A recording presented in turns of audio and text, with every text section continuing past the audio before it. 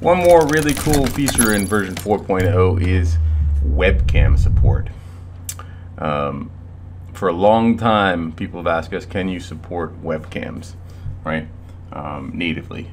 That means have a server application installed on the computer. If a webcam is connected, it will be detected just like an IP camera and it'll become available uh, to record and to stream and to, to share just like an IP camera. So in version 4.0, we introduced webcam support.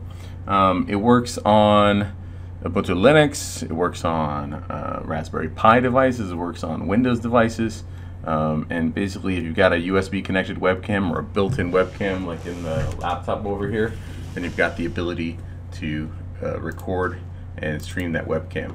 So you can see over here I've got a Razer laptop, I've got a webcam set up, see it pointing straight at the uh, uh, interface, so you can see this is the webcam, right, built right in. I've got another webcam on my computer that I'm actually uh, using for recording this video, so it's not available right now to the system. Um, if there is a webcam being recorded by the USB, uh, sorry, by the server, then that webcam won't be available for other applications. So something to consider, right? Um, but what can you use webcam for? Well, you can use it for a lot of things. Uh, you can use it for um, facial recognition like we're doing over here. You can use it for recording operator actions uh, when there's critical events that occur. Um, you can even uh, use it just to, to, see if somebody's at their desk or not, right? Um, a lot of uh, third-party analytics, especially retail analytics for like signage, they use USB webcams as well.